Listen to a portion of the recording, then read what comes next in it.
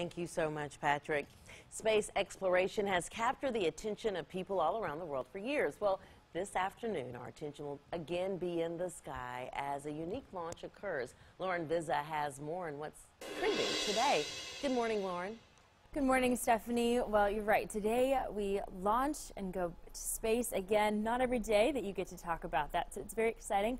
An American astronaut and a Russian astronaut are going up together for a year into space in the International Space Station, and that will happen later on this afternoon.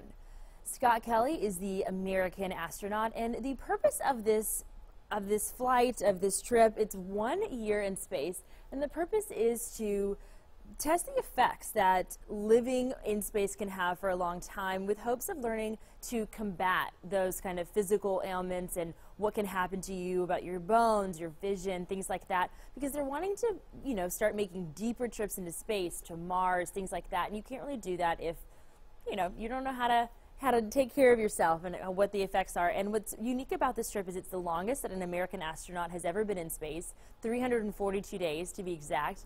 And it's the first time that they're comparing his health with his twin back at home. Uh, Mark Kelly is his brother's name, a retired astronaut, and also he is married to former um, Congresswoman Gabri Gabrielle Gifford, who survived the uh, deadly shooting in 2011. But it's really interesting. So he's going to be at home and taking these tests. They're going to be studying him, and then uh, find out what happens when he comes back and compare it to his brother's state of health. And it's, it's going to be really interesting. The flight takes off today, uh, this afternoon, 3:42 exactly. Exactly the amount of days that they will be in space, Eastern time from Kazakhstan.